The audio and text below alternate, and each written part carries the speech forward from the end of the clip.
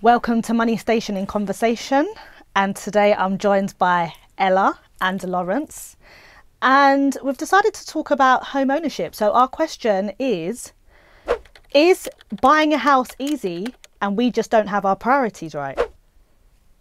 I'd agree. I think where people get confused is buying a home and buying a house. Huh?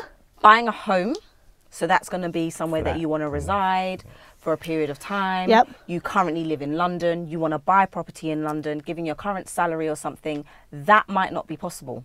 However, So, sorry, sorry. Are you saying it's easier to then buy an investment property over a home? Yeah. If you've got your priorities straight. 25% of 75k is a lot less than 5% of 500k. but then where are you living if if you have the money to buy an investment property you you must have already sorted out where you're living or would you suggest Not necessarily, because so many more people are staying at home. So they're staying at home, stacking their money, etc., etc. But they're so caught up in this ideal of where they want to live that, of course, they're staying at home longer and longer and longer to achieve like this ambitious home. Where really and truly they could probably get onto the property ladder a lot quicker by either clubbing together with friends through shared ownership, Facts. but they don't want to have that conversation, mm-hmm. taking advantage of more schemes, mm-hmm. but or some people are in a position where parents can give their money but they don't want to mm-hmm. because they like you know to be able to do it all on their own but yeah buying a property is not as hard as people think. The government is not against you in terms of you know the ratio of salary to deposit and x y and z. House prices have dropped you know stamp duty has been Ha- scrapped. Have they dropped? london. Not in London. not But- in london. but house prices have increased uh, especially due to covid in places like cornwall Exactly. or just on the outskirts because people can buy more for their money uh, gardens garden, working yeah, from yeah. home so on and so forth. But if we look at the the stats so generally speaking you can correct me here because you work in finance but when you're buying a home generally um, the bank will loan you four times your salary. Yeah about 4 4.5 4.5 your salary. Yeah. and what's the average salary in the uk at the moment? Say about 30k 30k Okay, so salary versus what you need for a, a, a mortgage. In 1960, you were able to purchase a house with 4.4 times in what the bank would lend you. But in order for you now, in t- today's society, for you to buy a house, you would need, with ease, 8.4 times your salary to be able to buy a house. I mean, it's harder, isn't it? Surely. So uh, again, when I ask the question, is it easy to buy a house? We just don't have our priorities straight. It probably is a lot harder than, Than our parents' era, our grandparents' era. But, I didn't then- think about what El, uh, Ella said before, though, about getting an investment property and using that to get you on the ladder. Mm-hmm. Yeah. That might actually be a smarter way to do it. And nobody really thinks about doing that. because they're too busy considering a home rather than considering a property. I, I don't know though, because an investment property isn't what it used to be in terms of It's hard work as rental well. income. Yeah. Um, so it depends what you mean by an investment property. Do we mean investment property to like a, a house at auction to do up and then flip, or do we Absolutely mean not. rental? No. Because we, Because I can't do that. but then Yeah. re- rental isn't the same. Is, isn't what it used to be. it's not, and it's definitely it's definitely not, you know, a straight road. Like someone can just wake up tomorrow and think, oh, I've got twenty grand in the bank. Let me go and buy a buy to let. Yeah. It's not that easy. It's definitely a numbers game. You've got to speak to other people who have got experience, but there are ways to leverage a buy to let. You know, so you've got a buy to let. The mortgage is next to nothing. So then you are in a position to recoup profit off the property. And that's depending on where you buy in the definitely UK. depending on where you buy. So definitely in terms of, like I said, speaking to someone with experience and doing a bit of research. But 25% of a 65k property or like I said, 5% of a 500k property, the numbers, mm, mm. they, they, they already show which is more favorable. Mm-hmm. Then being able to remortgage mm-hmm. on a buy to let to release some equity mm-hmm. that may, all, may already be potentially there, or you've saved the rental income that you've been receiving, is going to put you in a better position because you're already on the property ladder than just staying at home with mum and dad, saving and saving and saving and saving because you've got this ideal two bedroom flat Home. with a balcony in Islington. Oh god, that sounds go good. Yeah, it does, but it might not be realistic, and it's unfortunate that it's not realistic. I'm not denying that. Yeah. but I just think that there are other avenues, and definitely shared ownership with people that you know, or friends, or even companies that you can go into business with and do shared ownership, where you can actually continue to then save towards buying out the other percentage. These are options, but I just don't people think I don't think people are talking about them enough. So let's. uh, I'm a firm believer in looking at the things that we can do. So um, we often will say the government ha- hasn't built enough houses. I was gonna um, say that. I was yeah. which is true. They haven't built enough houses, and um, maybe our salaries are not increasing enough, or we're allowing people from abroad to buy up UK property, which is pushing the price point up. But those are things that are out of our control for now. So the Sure. things within our control, um, historically, couples used to buy together more Yeah. and I'm not trying to say get with someone so you can go and buy a yard. But I think there is something to be said for we are trying to do things single handedly alone a lot more now. And for me, uh, on one hand, I feel like go and get your own stuff. Before you meet your partner, or even with your partner, try and get your own. But then on the flip side, I think, well, why not? Even if the, the relationship breaks down, there's nothing to stop people. And, and as you said, friends, whether that's um, a friend, uh, a best friend, a cousin, a aunt, uncle, a partner, you can put things in place as a contract to say if anything goes, and this, you don't have to be married to do that. I want to take 50% uh, depending on the, the value of the property that goes up, so on and so forth. There's nothing to stop people from doing that. So that's one thing. Another thing could be we're massive consumers now, more than ever, even within my my life.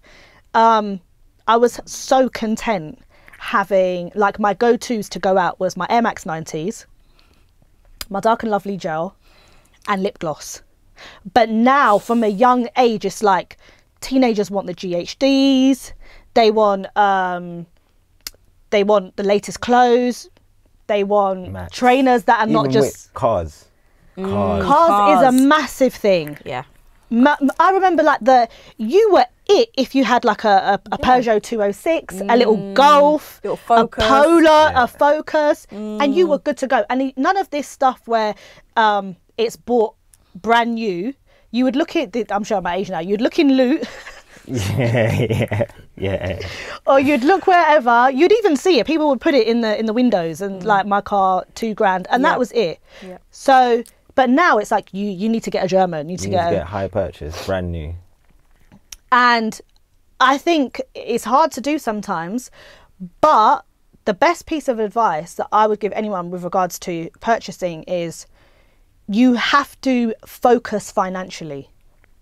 And there's nothing wrong with telling yourself the next three years, I'm going to live basic. And if you have friends around you that is not accommodating that, that's trying to draw you out on the weekend, draw you to Selfridges, draw you on holiday, Ibiza, Dubai, where you know you're spending money, tell everyone it's not that for the next two to three years. And you will mm-hmm. save so much money. But, work. but going back to what you were saying, shared ownership, help to buy, they're all okay schemes. And I, I really can't stress this enough. Please do your own research. We're not advising you to take up any of these schemes. We're just simply discussing what the options are. Shared ownership for me, I used to um, calculate service charges and manage shared ownership. And I would say it, it's there's ups and downs for both of them uh, help to buy and shared ownership shared ownership to me personally only makes sense if you go in at a high percentage of the property that you want to buy. So above 50% Okay. um, a lot of property A lot of development like companies they suggest, oh, yeah, you own your own home, buy 25%. percent. Mm, But the problem with buying 25% is that your rent on the percentage that you don't earn Mm, will be so high. And the aim of you um, buying via shared ownership should always be to staircase. Now, staircase basically means that you uh, eventually own Accumulate more ownership. th- there you go. You accumulate um, more ownership. So every two to three years, try and buy 10 to 15%. And if you don't, the value of that property, you'll be outpriced of your own property. Yeah. And that's why, to me, it makes no sense to actually buy 25% because it will take a lot longer to obtain. And if you go in at 75%, the majority of housing associations actually don't charge you rent for the remaining part. Um, but then the problem with shared ownership is the service charges are crazy And they keep going up. and they keep going up. And the and the issue with um, help to buy for me is that you are when Is this they the equity loan. Okay. the equity loan when they Tell loan them. when they loan you the money uh, for a portion of the property of the deposit. of the deposit, you are not paying back the amount that you initially uh, borrowed. You're paying back what the property value is at that time later on.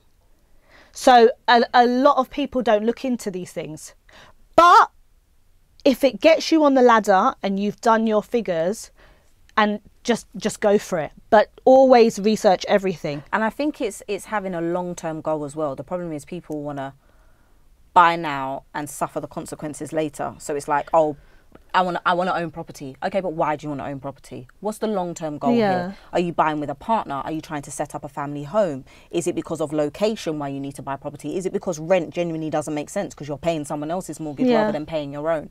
But if you've got a long term goal, so like you were saying, if you are going to go into shared ownership and accumulate more ownership as time goes on, then shared ownership might actually make sense mm. because you can afford 50 today, you can't afford 100, but you know that you can afford 75 in a couple of years Yeah. and then move up to 100. But I don't think people, when going into property, have a long term goal. Yeah. It's just they know that they want to own. Here's the other thing though. Don't you feel like it's so much more complicated now than it was 10, 15 years ago? Because there are all these schemes and there are all these means.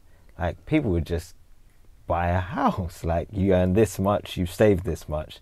Now I'm going to purchase this. Like now I don't I know. think they're we just didn't there have to shared age. ownership. It's just there to aid you, though. It's there. It's there to assist for those who cannot afford it. And the thing is, we always talk about houses are not affordable.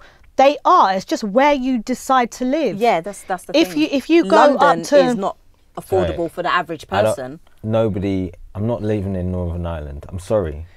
I'm not. Okay, but then if you move, let's say, to the Midlands, What? No, I'm not living there either. I went That's uni your there. no that's- disrespect, people. that's your choice, though. No, but I also work in London. My life is in London. My people are in London. What's to So then stop your you from lifestyle should commuting? accommodate you wanting to buy property in London. As in, what, what does that mean? Well, What- which if, you, if you're saying that you're not willing to relocate, but you know you want to own property, not necessarily you per se, Mm. but I'm saying for an individual who's grown up living in London, Yeah. then you have a certain perspective of what London house prices or London flat prices are. Mm-hmm. You have a level of perspective of what the rent is. Your lifestyle should accommodate that.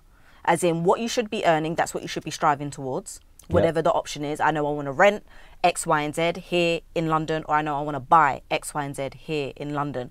What I don't think is fair is when people have lived in London for a certain period of time, been raised, been brought up, etc., etc., and then when they hit 26, 30, or whatever it is, I've done no research, I've done no forward planning, no forward thinking, no financial preparation, and then turn around and like, the system's against me, they don't want me to own my own home. I can't ever earn enough. But do, do you know what, as well? Going back to things in our control, there's this, and I know this is not um, viable for everyone, but where possible, whether it's your gran, your granddad, your mum, your dad, or aunt, try and live with family as long as possible. And the Absolutely. I think problem so, yeah. is, we look down on people that do that. Yeah. Mhm. Now, the the largest group of people to own property um, is the Indian community in the UK. and they stay at home. And again, I'm not saying this is available the three to generation everyone. thing. It came up in COVID because you know it was about death rates and stuff. But the three generation thing has been traditional in the Indian community, and that's how. Like, of course, you're going to build. And they're not. Do you know what? They're not. They're not even ashamed of it. No, I, I mu- No. even In at fact, work, I said to, to I said, yeah, I said to a guy, and he was like over 29. I can't remember his exact age, but I remember just knowing he was like around that age. And I said to him, "How come you still live at home?" And he said, "Well, I haven't found a wife yet, so why am I leaving?" and he had no shame that that and why should he and i think we've bought into i don't want to say this western ideal but we've bought into this let's escape This this It's- newfound sense of independence. let's escape then we spend 10 years paying rent and we've got nothing in the pot to buy our own house especially in London. uh, Yeah, uh, uh, the- especially in. London. Um, but what would be good now is if people can understand and learn from our achievements or our mistakes. So let's start with you, Ella. Are you a homeowner? I am. And how many properties do you own? Uh, one.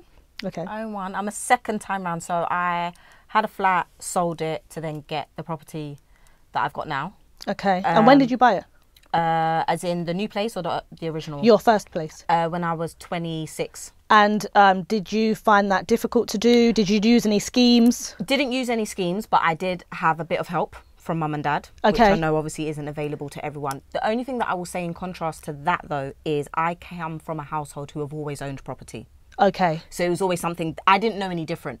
Did uh-huh. your did your parents save up for you, or did they draw out equity from one of their other properties? They sold, so we had our. Fa- when I say family home as well, it was it was a two bedroom flat. It wasn't like you know a six bedroom house in the Cotswolds or something. But yeah, where we were currently living, they wanted to get smaller. I wanted to move out, so we made a decision to sell. They gave me some of the money from that. I had been saving.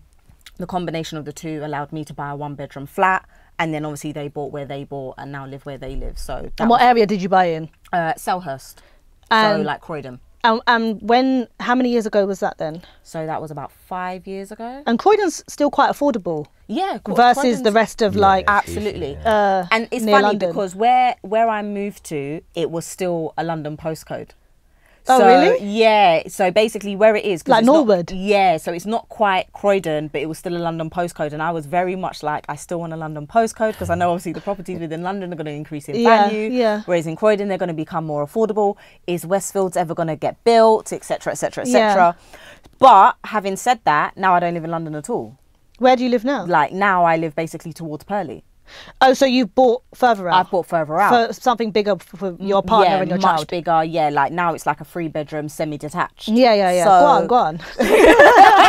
yes.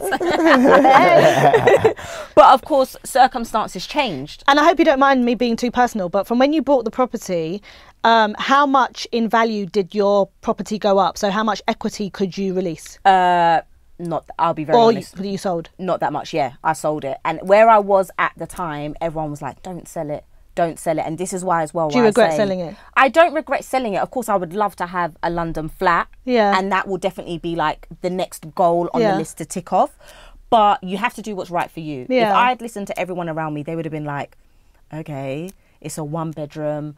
Okay, you and your partner and your like, so what? You lot can make do for a period of time." And it's like, that's all well and good, but my situation and your situation, you're you're from an outside perspective. Yeah. So you, you had to do what's Yeah. best for you you. have to do what's yeah. best for you but i think people get influenced so much by the status so the status at the time was yeah but ellie you own Yeah. you own Yeah. keep hold of it keep hold of it why would you and I suppose six years. Uh, how how many years again? Sorry. Yeah, about Si- five, six. Five six years is not a lot to really generate unless To you're in a unless you're buying in a in a place where there is um, regeneration pricing. Yeah. happening Exactly. as you buy. Yep. The house, the house usually they say about ten years is when you you make a, accumulate a- a- accumulate equity. yeah equity okay. but yeah so i i sold and i rented for six months well I, I think it ended up being about eight months but in those eight months i worked my ass off Yeah. and Did you get a second job? up. Uh, yeah, so I had like two jobs at the time, and then in the job that I'm currently in now, Yeah. basically that took And over what- the other job. Did you get a broker? Yeah, Okay, I would always always advise to get a broker. Don't and think about doing it on my your own. experience, learn from my mistake. when I first, and do you know what, I'm an idiot because I'm self-employed. Mm. Well, I work under my own limited company, and I still thought I could do it alone because I happen to work in property, and I completely flopped. Mm. So I went and did everything that a broker is supposed to do, mm. and um, obviously, like I write some some of my expenses off, so things on the paper is not exactly my salary Yep. and blah blah blah. E- Yep. Everyone that's self-employed knows what I'm talking about. Cool. She doesn't mean this. HMRC, she doesn't.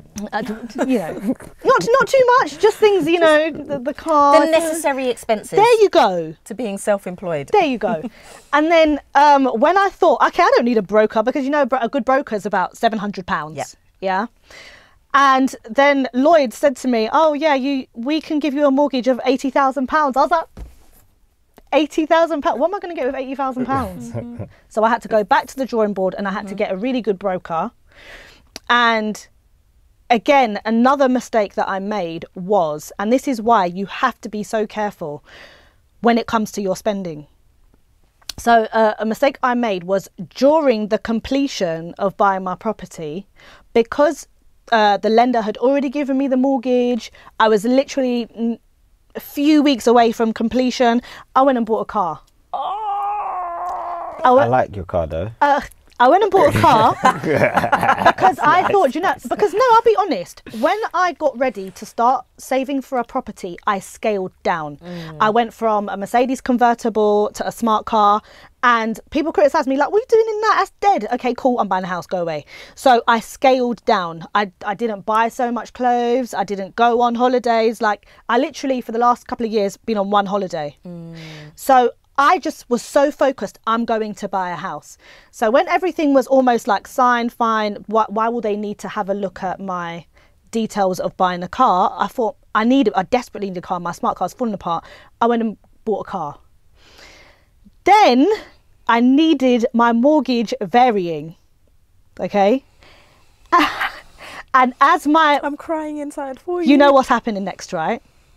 So then my broker said, I hope you haven't used any credit cards, taken out any um, credit. I hope you're spending because finance. let me be clear to everyone about to buy a house. They go through your expenditure with a fine tooth comb. So Yeah. if you are flying out to buy, if you are buying things, if you're buying drip, all the rest of it, the bank looks at those things, even down to your food shopping, and they will say you will not afford a mortgage. We cannot give you a mortgage, even if you think you're earning a lot of money from your salary. And the problem is, is it's done by their calculations as well. I remember I sat down with a broker before I Mm-hmm. was with the one um, previously, and this was again still just doing my research. I was like 24, I had no intention of buying a house, but I was like, let me go and have a conversation. Let me see how this works. Yeah. And the guy was like, okay, so you earn this. How much do you spend on this and this and this and this? And I'm thinking, I know how much disposable income I've got, but he's literally going through the expenditure bit by bit by bit. And he's like, oh, and your student finance, oh, this. Oh, fantastic. So you've got 150 pounds disposable at the end of the month. What mortgage would you and like? people don't know this. Like even down to, I was, I was paying, I think about twenty pounds for insurance for a watch. Mm. And he said, "Can't you just pay that off in full?" And I was like, "There's like eight hundred pound left." He was like, "Pay off." Yeah, see? He was like, "When I go to the bank, they look at every-" and that was twenty eight pounds."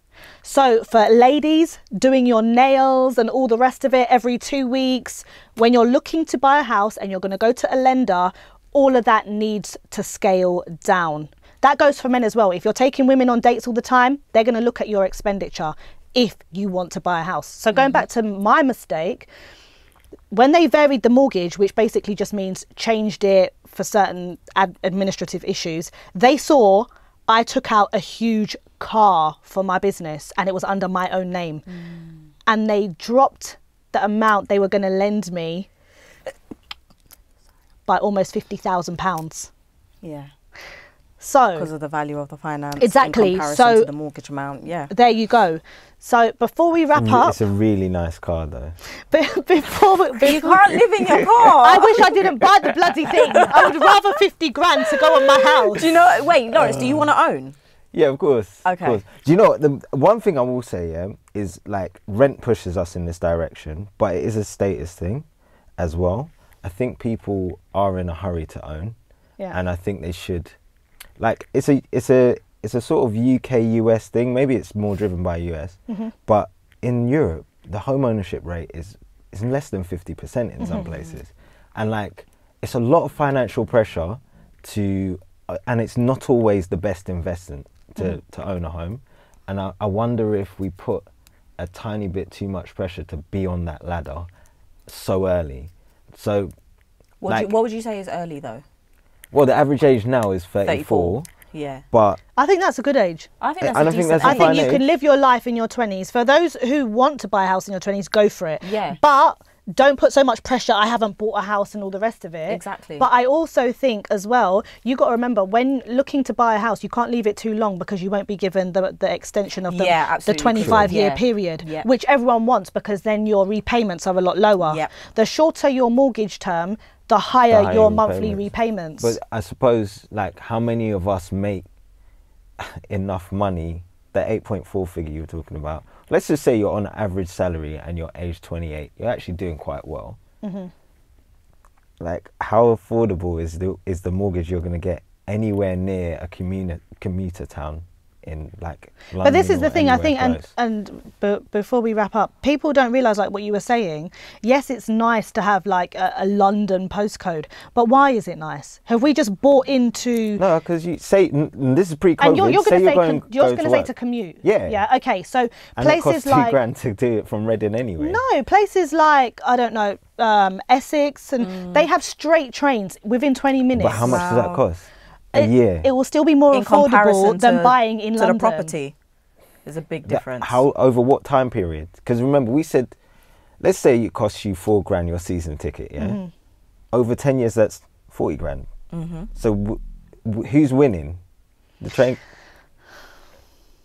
I still think it makes more immediate sense to buy on the outskirts of London. Yeah, and I think you have to. I think And it's we're working the at home now. Yeah, and I I think mean, it's it's about where you place now. value. Like if you're like for me, I didn't buy an investment property. I bought a family home. We have no intentions of going anywhere. So it didn't matter what it costs. It doesn't matter what I'm going to spend on it over the years because I'm not necessarily looking to recoup value because the value I get is the happiness of me and my family in it every day. Yeah. Sure.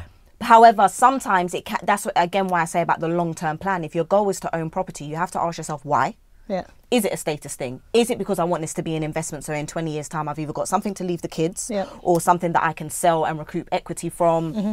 etc., etc. Then yeah, of course, do your numbers. If it's a case where I just want to own property, well, yeah, then you're probably not going to be able to own it in London. Yeah. And if owning the property stacks up against paying the seasonal ticket, well, then there's there's your answer. So just to reiterate, in terms of advice for buying a house, I would say if you can stay at home, or at a, even I'd go as far as to say stay with a friend, a family member, uh, and pay nominal rent as much as possible, then do so. We judge each other so much for staying at home, but why? When you know that, okay, you moved out when you were 20, but now you're 30, 34, and you're still renting, own, don't own a home. I stayed at home till I was 30, 32, I've bought a house. So stay at home as long as possible if it's a possibility. I would say if you want to start buying a house and you know that your goal is to buy a property in the next three years, scale back your spending. And this is not about saving, this is about what the lender looks at. Mm. Down to your nails, down to your trainers, they look at everything.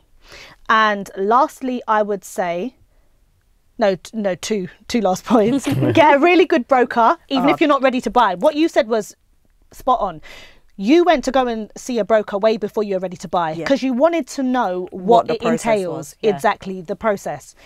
Um, and I would say definitely do your homework around shared ownership, uh, right to buy, um, help to buy, because sometimes things are available to us and we just don't know, or we don't. It seems so daunting. Like I don't even know what shared ownership means. And this is for me. If anyone wants to know what shared ownership means or ways around it, just let me know. DM me. And I'll be happy to give advice. And what about you, Lorence, in terms of buying? What's your thoughts about buying a house? I think two things. One, don't be a dickhead with your money, and two, don't rush. Like so, you do have to have a level of discipline. A mortgage is the biggest commitment, your financial commitment you'll ever make. And it's not easy. So you'll have to you'll have to be prepared for that mm-hmm. over a course of years of saving, of being thrifty, of only spending what you need to spend. Mm-hmm. Because you know, if that variable mortgage jumps on you, and you don't know how to be thrifty and you're right on the edge, you're going to be in trouble. Yeah. So Yeah. yeah, the the And repairs. People don't factor in. Okay, you've bought your No. house, but do you know that a new roof could cost up to ten grand? Mm. exactly. And then if it's a leasehold flat, you know, like the service charge, the ground rent. S- Oh, Sinking fund. yep. So the first bit of advice was for me because I'm not good with the savings and stuff. Okay. The second bit was for people that are in a hurry to buy because they feel like they've hit a personal life mm. a milestone and they mm. feel like they're letting themselves down by not being on the property ladder yet. Mm-hmm. Well, like we all said, just check your finances uh, and do your homework. And please, please do all your own research. Everything that we've said uh, in this episode is our own lived experiences. And uh, like I said, please do go and do your own research. Um, thank you for listening. That was Money Station in Conversation. Please subscribe, and our Instagram and our Twitter is Money Station underscore underscore. Thank you.